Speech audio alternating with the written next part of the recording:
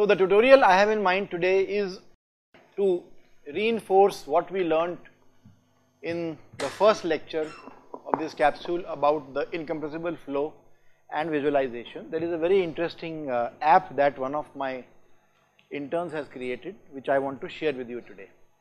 So Let us first see what is the problem statement and pay attention because many of these concepts might be useful for you in the quiz.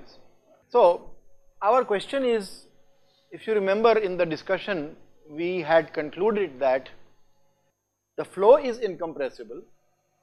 If you capture a small volume and look at it over a period of time in the flow, the volume of that element of a given mass delta m remains the same. If that remains the same then the flow is considered to be incompressible. The shape might change but as long as the volume of an element remains constant then only the flow is incompressible. So this particular uh, property we would like to now experiment, uh, do a numerical experiment and verify. So the objective is to strengthen the Lagrangian understanding of the flow in which we trace a particle in time, okay. And also the condition del dot V bar equal to 0, this condition seems to be a simple mathematical condition, but we are now going to look at its geometrical significance through this example, okay and hence we will have a better understanding of the equation of path lines. We have talked about uh, streamlines, streak lines, path lines, timelines. Timelines was uh, explained by someone on the Moodle page. I am very thankful uh, for that definition. So let us see the first step. The first step is now this, this, in, this will involve some numerical calculations. I hope all of you have your calculators. So keep your calculators ready, you will need to do small calculations. So this is just uh, some theoretical flow field defined by velocity equal to something i plus something j. So is it 1D, 2D or 3D? It is two dimensional because there is no z term. Okay. So let us see what are your observations based on this particular statement. So when, when the value of velocity is a function of uh, x, now t is the time here, is this flow uniform or non-uniform? You don't have to answer right now, think about it. There are three questions, you will have to answer all the three questions. So is it uniform or non-uniform? Is it steady or unsteady? Is it compressible or incompressible? Now the third question we have to answer by some calculations. So you may not be able to answer immediately. If you can, great. That means we have a new Bernoulli amongst us or a new Euler or a new Newton. But for me, I need some calculations to really confirm. So now let us look at the first two questions. Is this flow uniform or non-uniform? I want someone to volunteer but I need a reasoning also. Do not toss the coin and give me the answer, give me the reasoning. So who is going to help me with this question? Is it uniform or non-uniform?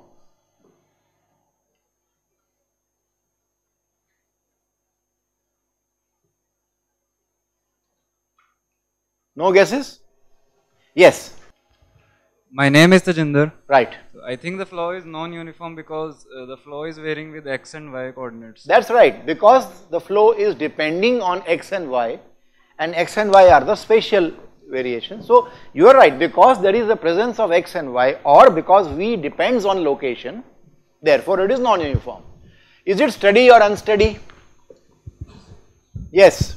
Mike there please. Myself Venkat Sai. Venkat The- Sai. Yes. The flow is unsteady because the variation of flow properties with respect to time should be equal to 0. So dou u, I mean, dou u by dou t is not equal to 0, but dou v by dou t is not equal to 0. Right. So, So, flow is that's unsteady. right. That's right. Basically, basically, his point is very much valid because there is a presence of a time dependency. Because there is a t there, and it is not partial derivative is not zero. Therefore, this flow also is unsteady. Compressible or uncompressible? Can you say yes? Hello sir, my name Yeah. is Ritu. It's incompressible flow Because when we take divergence of the velocity, Right. so it gives zero. So for How do you take divergence of velocity? You take a partial derivative of the first term with respect to x, x and the which is second 0.5 and the partial of the next term with y which is minus minus 0.5. 0.5, then it gives zero. Right. So that's good. When you take the partial, so dou u by dou v by dou u plus dou v by dou x is coming it to be 0.5 minus 0.5 equal to 0. Then hence this flow is actually incompressible. That's right. So it's non-uniform, unsteady, incompressible flow. Yes. Uh, my name is Srinath. Yes, Rina. Uh, we get divergence of velocity is equal to zero only if we consider that uh, density is constant from continuity equation. That is true. That is So- true. So yes. So, basically, all our arguments are applicable only in the case when the density is not changing with time or place. Yeah, so that we do not know here. There is no density term here. So looking at the velocity field, at least the velocity field tells us that it is incompressible. But what you say is right. Incompressible flow and incompressible fluid, there is a difference. Yes, but uh, if density is a function of time, then we cannot uh, apply. Uh, I completely agree with you. So I am saying make the assumption right now. You are right, I agree. Make the assumption that density is invariant with time and xy in this case. Okay. So if that is the case, so I just want you to visualize. So these arrows represent the local flow field vector which will change as a function of time because there is a time term there. And uh, the blue lines as you will see very shortly, these are the particle trajectory. So uh, in this particular video, the equation in the previous slide has been uh, plotted as a function of time for y and x, okay, using the value of omega as 2 pi. And you can see that the local field vector is changing its angle as a function of time and the trajectory of the particles is also following some particular direction. Okay. Let us look at the next step. So what we do is we look at this particular flow field and we mark an element at time t equal to 0. Just some element A, B, C. And uh, you can note down these values. A is x0, y, y0 equal to 0. So at time t equal to 0, we take a snapshot. I will show you a video of this, but we take a snapshot and we see that there is a theoretical element, a triangular element with three vertices A, B and C whose values are mentioned there.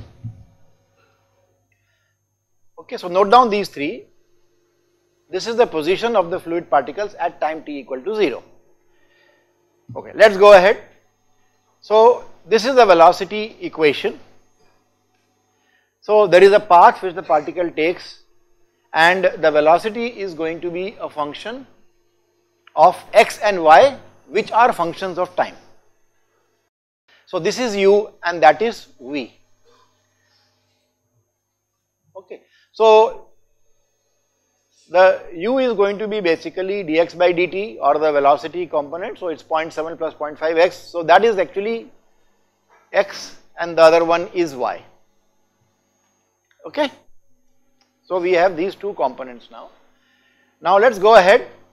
We have a differential equation now dx by dt is equal to minus 0.5x equal to 0.7. How do you solve this equation?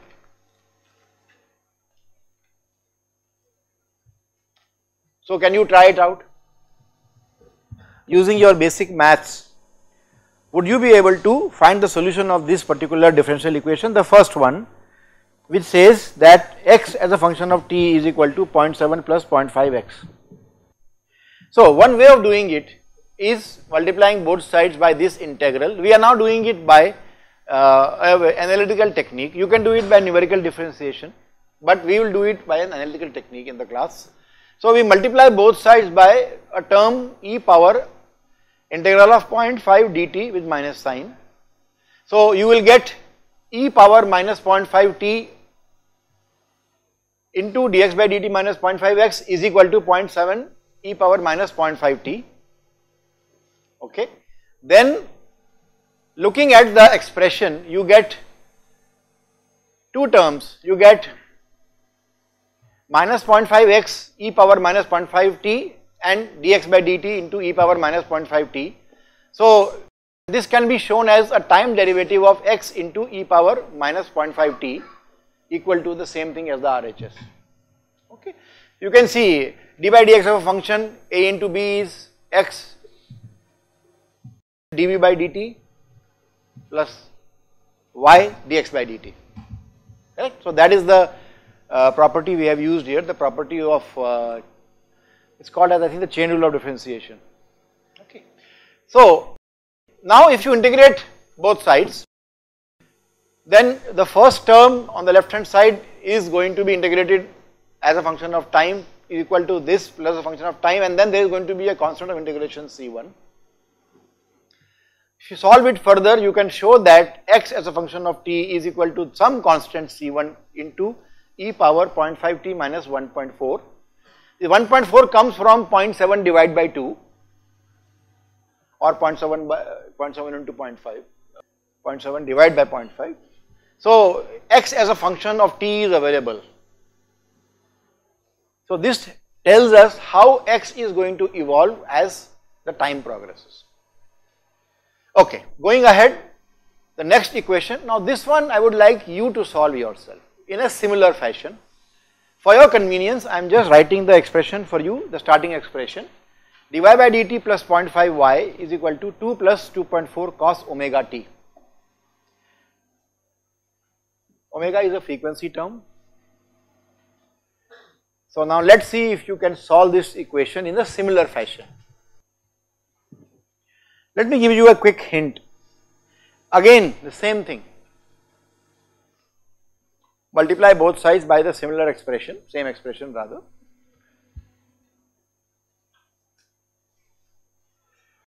So what will happen? So from here you can proceed now. Okay, let me give you one more step. So the same thing is going to be d by dt of y e power minus 0.5 t and now you integrate both sides.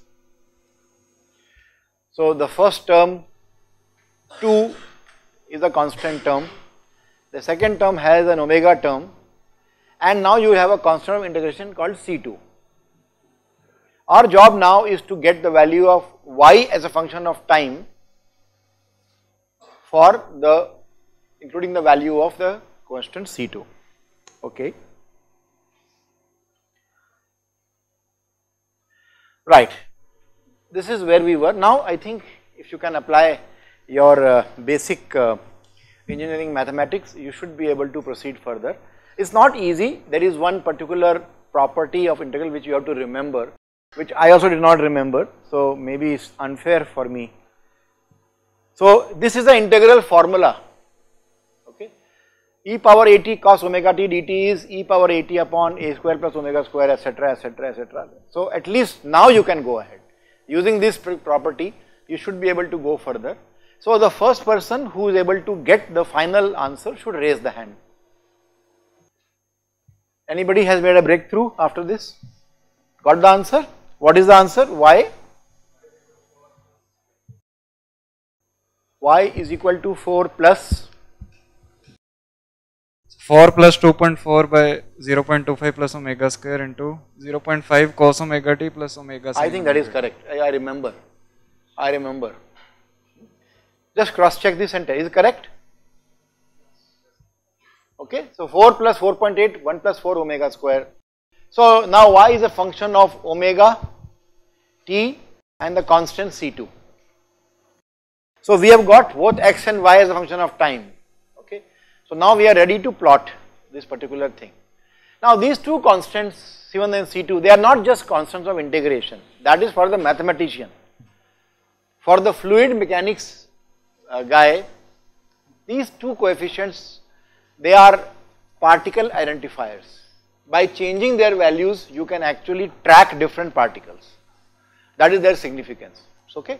So we saw that x is a function of t and C1 y is a function of t and c2 in the two expressions that we have derived. So what we can do is we can track, we can set x, y and t, uh, xt and yt just by playing with these two coefficients as I will show you in the in the particular utility you can track different particles. So that is a beauty that is a beauty.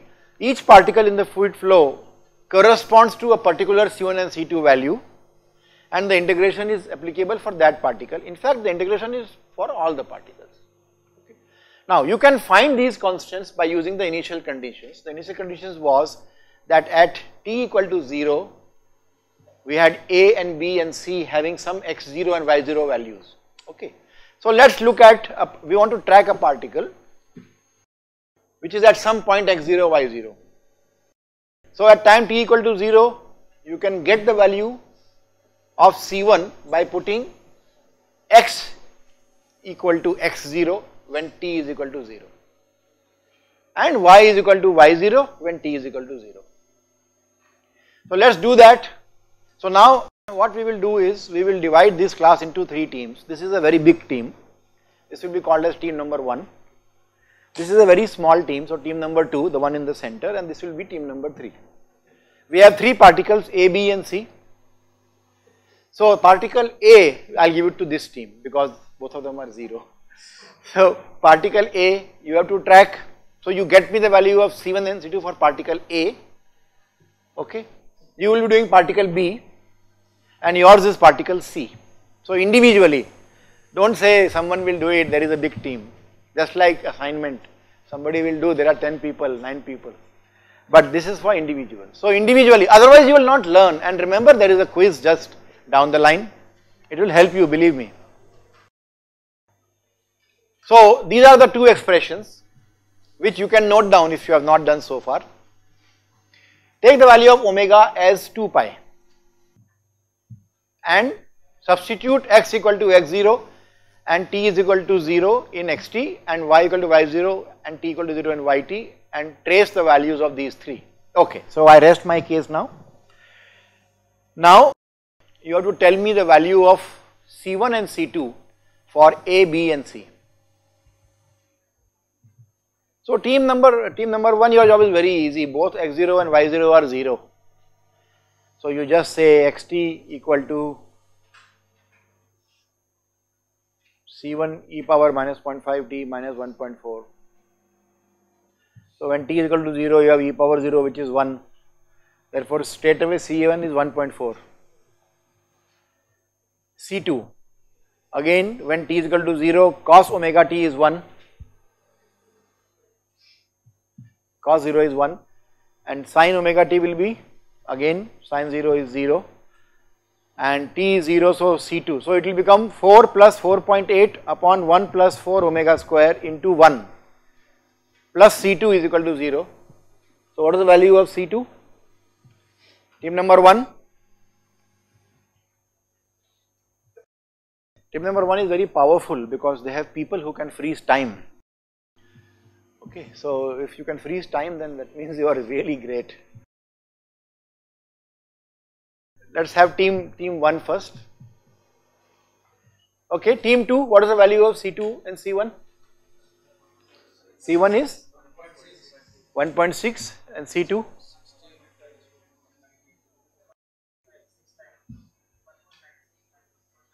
One point nine six nine. Okay. Point nine six nine.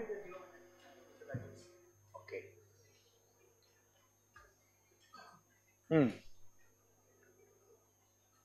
What about team number 2? What's the value at B?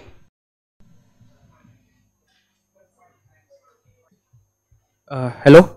Yes. Uh, C1 is 1.9 and C2 is 1.8814. Yeah, that's what I got. You can cross check. Now, if there is a mistake, please tell me. Yeah. B should be plus 0.97. Hmm? Let's see. Let's just cross check. So this is team, this is the team C. No, this is team B. So y at 0 will be 4 plus 4.8, 1 plus 4 omega square. So C2 will be equal to minus. Why will it be plus? So don't we have 4, see don't we have uh, y is equal to a plus b. So, so it will be, it will be a negative term right. A is 4.03 when you say a means the first term. Yeah.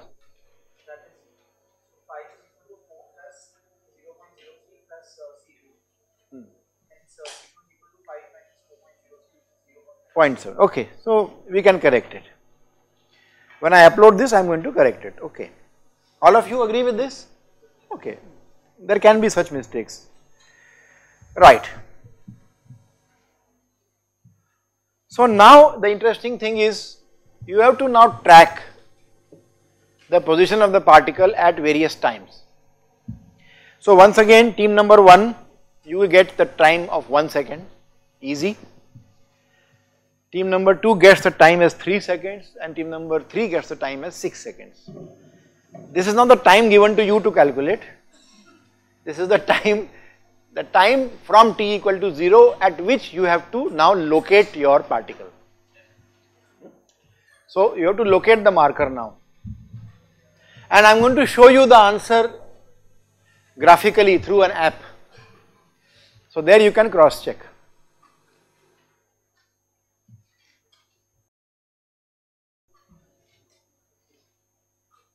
So this time you have to give me the location of the all the three markers A, B and C at these time steps.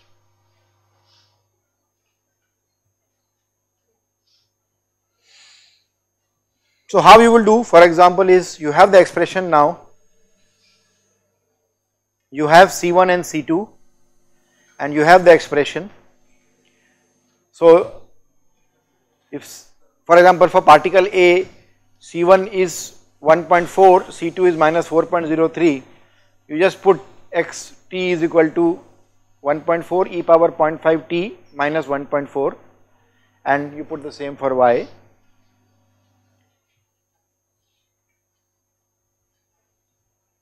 So when you are ready, when you know the location,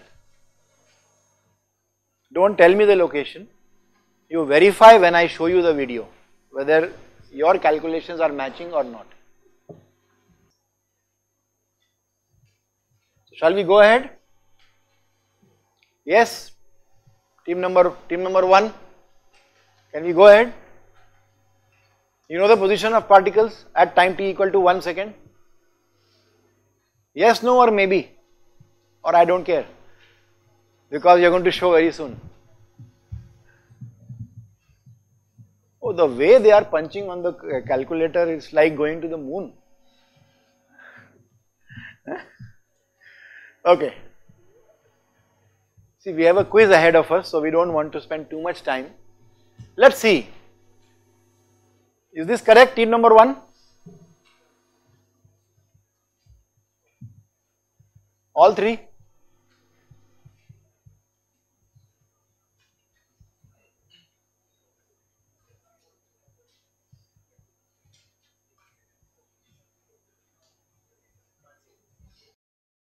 So no need to copy it down because we are going to see the video very soon. Okay, team number 2.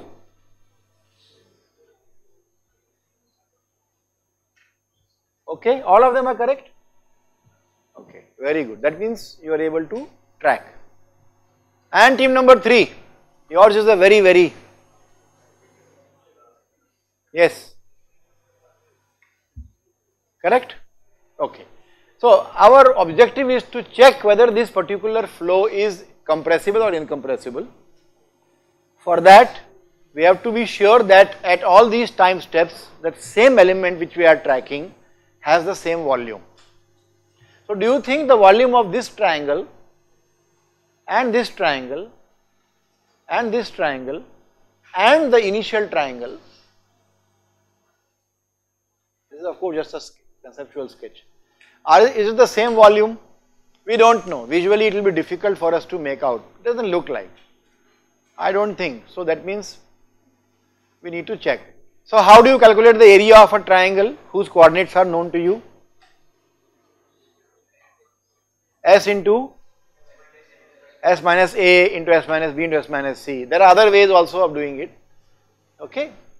You can simply do it by a very basic uh, determinant calculation. So, one way is you calculate S, A, B, C and then multiply. The same thing has been coded into this particular determinant. Okay. So, please do it for all three of you. Find the area of the element at the three places. So, once again at time t equal to 1, at time t equal to 3 and at time t equal to 6. So, have you got the area? Please calculate. You have the values of xa, xb, xc, you do not have. Alright. So, can you calculate the area quickly? So, it will be xa minus xb into ya minus yc.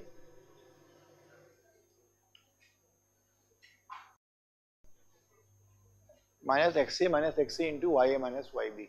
Take the mod of that and divide by 2. If anybody from the team has done it, just raise your hand. So, do we have the answer? How many units is the area? Some of you have given up. It's too difficult calculation to do. I can't do it. Nothing I have learned so far in my life has equipped me to calculate this value. Yes. For the you want the coordinates, okay. Okay, you can note down.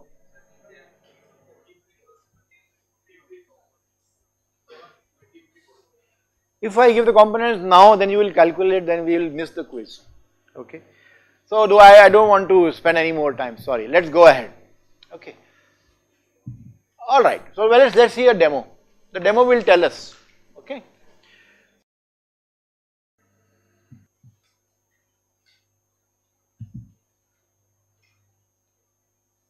Alright.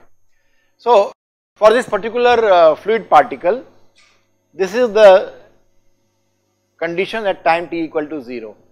Point A on the bottom was 0 0, point B was how much? Hmm? What was it? Yours is point C, okay, point B, point 2 5 and point 2 comma, so is it okay? And the third team, Okay. So, now let us run the simulation at time t equal to 1. What is the area? Team number 1.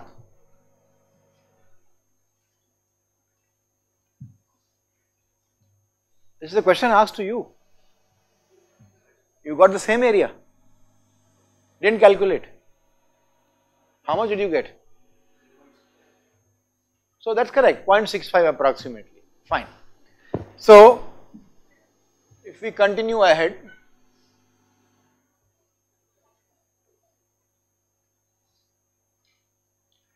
at time at 3 seconds what did you get? Are the are the particle coefficients correct? Matching. Okay, so you have to believe me now since you have not calculated you have to you can do it offline later the value, the volume is, the current area is 0.64. Area is volume here because it is 2D flow. It's 0.6499. So it's almost the same as what they got. Okay. So let's see at the next time step which is 6 seconds. So it will take time. So the particle becomes very narrow and thin. It's again 0.65.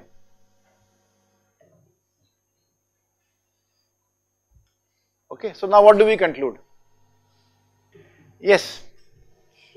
My name is Ajit. Ah, okay. The shape is varying, but the volume is constant. Area. Or the area is constant. we can say. So what do you conclude? Uh, that means the mass flow rate is constant throughout.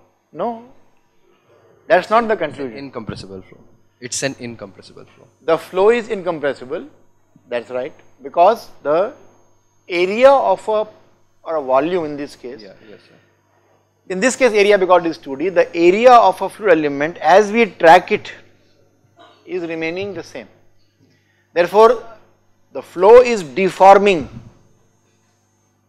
but the total volume is remaining same. That means actually it is incompressible flow. Okay, so in case you are wondering whether this is just one simulation, I can uh, I can try. So let us let us go to initialization. So let us track some other particle. Just because these particles are we cannot be sure. So let us say uh, particle at t equal to 0 x coordinate. So let me have some volunteer. Okay. Yes. So can you say that if we uh, wait for a longer time, the area will be decreased to 0.6 or 0.5? Let us check. We have a app. Let us check. Your job is easy. In normal times, I would say calculate. Okay, but I know people are lazy nowadays. So we have an app. We will check. With this particular app, I can track any particle for this fluid flow at whatever time you want. Okay, so let's do it. So let's start. So take a particle. So let's start with you only. Chalo. Give me some starting. Some give me some x y coordinates of a particle that we want to track at time t equal to zero. No, you want to do for the same particle. Okay. So we will, let's do for the same particle, and what we will do is.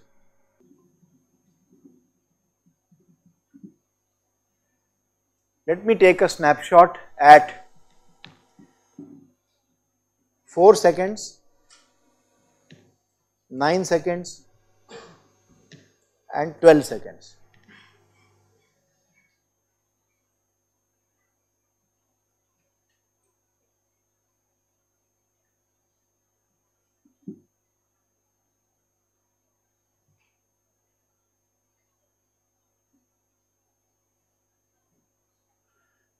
Okay, doesn't seem to have worked.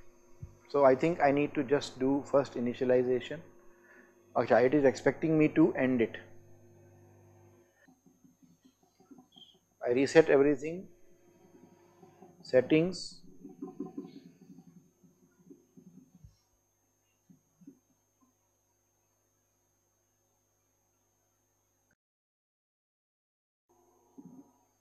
let's see if it works.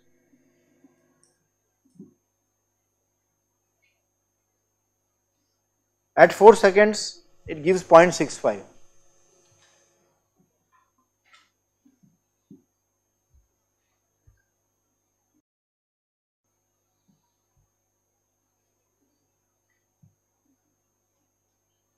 Okay, so there is a time limit set in the code. So we have to check for times only between 0 to 8.5. Okay, so let's reset it again. So let's say at 2 seconds, 4 seconds, 7 seconds.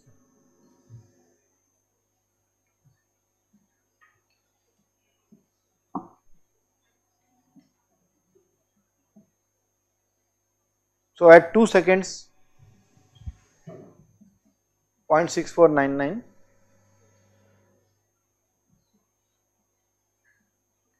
65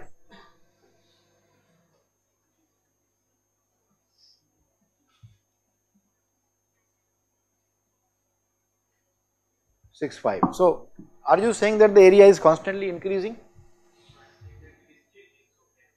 No, these are these are numerical truncation errors.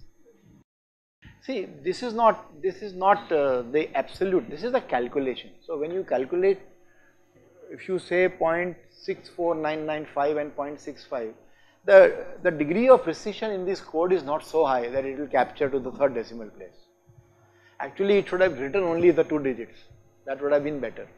By writing so many digits, it is giving a wrong impression. So for all practical purposes the volume is remaining the same. Okay, so let us start some other point. Okay, so let us say I will just give some points. So particle x coordinate let us say 2, y coordinates again 4, then exponent of particle at t equal to 0.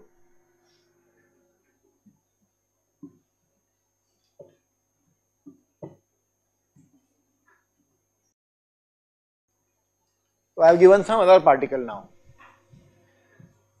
and let us take the same time steps.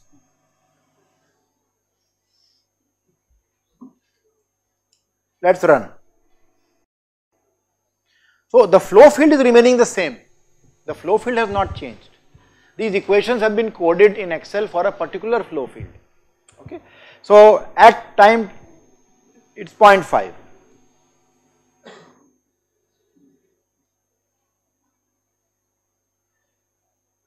At time 4 it is again 0.5.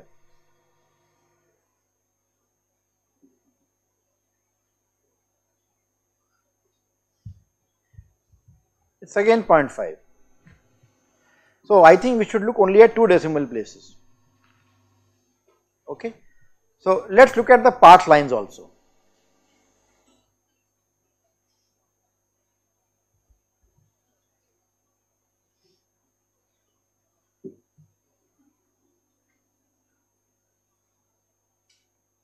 So now what I have done is I have removed those lines and I am just showing the particle transforming in space. So this particular utility I can share it with you, you can have a look at it. What would be interesting is to see what is the coding behind it.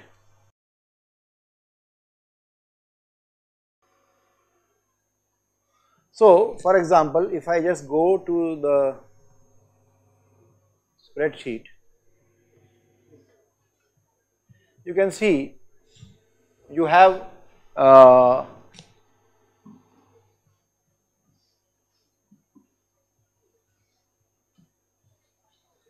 the constant x and y have been pre-calculated and entered here. This is the initial position, yes.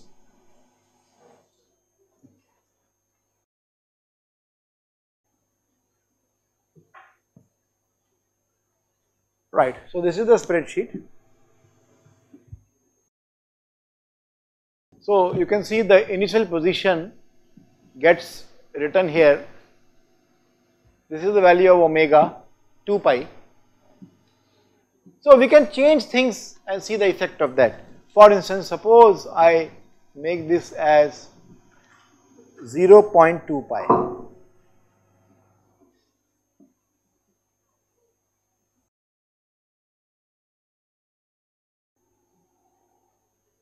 Now you can see the flow stream has changed.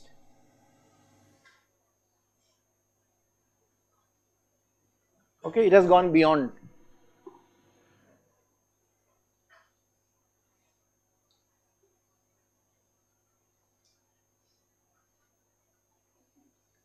But even in this case,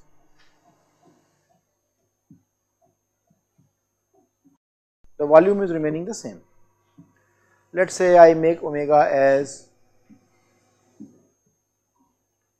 3.25.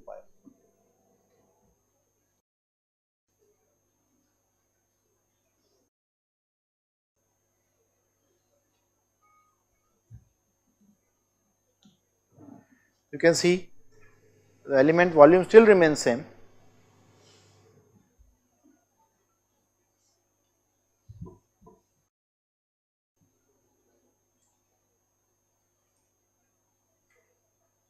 Okay, so whatever be the value of omega that is not changing the nature of the flow.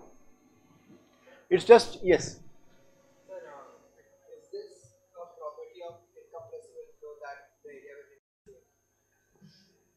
Yeah, that is what we discussed in the class.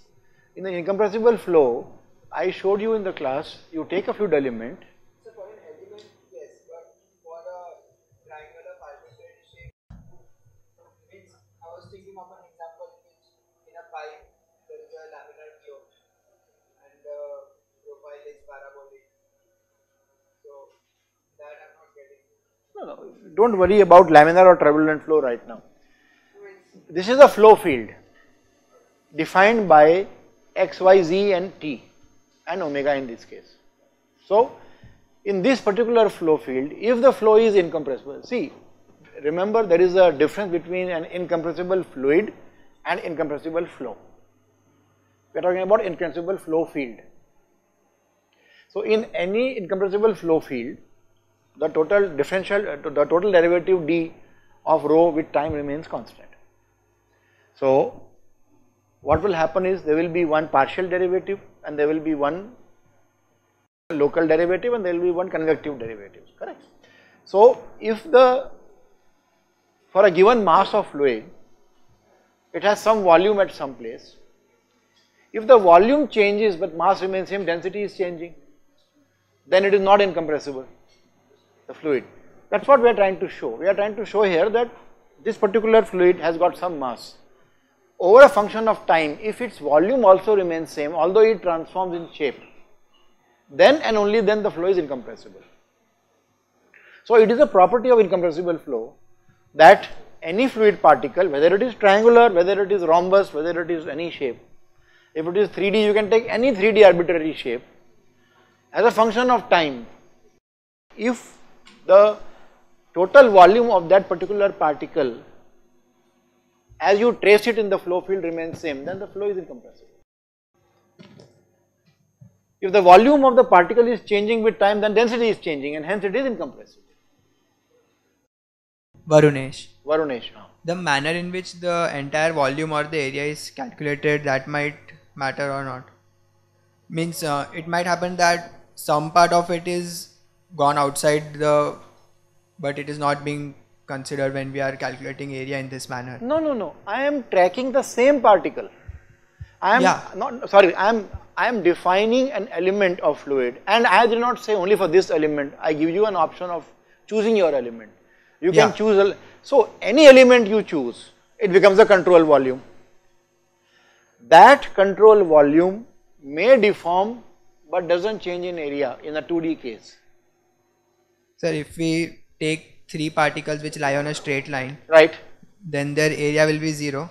And it will remain zero. So throughout the simulation it Let us check. That is what I am saying. See, the, I am going to give the utility to you. You try it out. Okay. So I am going to upload this on the Moodle. I am going to ask you to play with it and give such kind of observations. Track. Take three particles which are very very near each other. See if it remains the same. Track three particles on a horizontal line, inclined line, vertical line. Check out. Okay.